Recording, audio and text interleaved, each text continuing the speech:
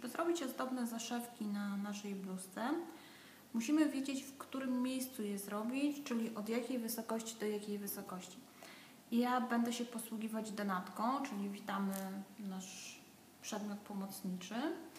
E, ale oczywiście można założyć bluzkę po prostu na siebie, stanąć przed lustrem i zrobić dokładnie to samo, mając założony sweterek na sobie.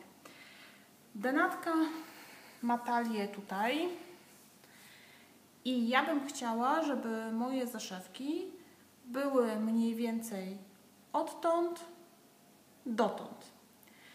Czyli można sobie zaznaczyć to na razie bardzo wstępnie szpilkami, że ma być to mniej więcej stąd dotąd.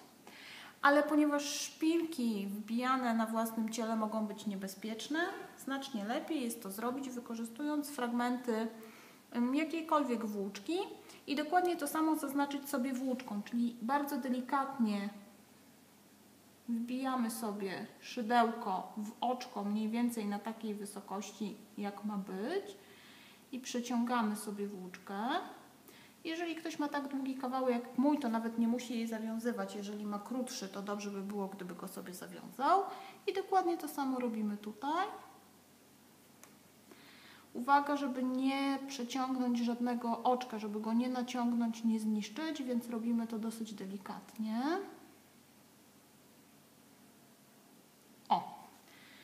Ja sobie szpilki zabiorę i wiem, że będę robiła moje zaszewki od tej wysokości do tej wysokości.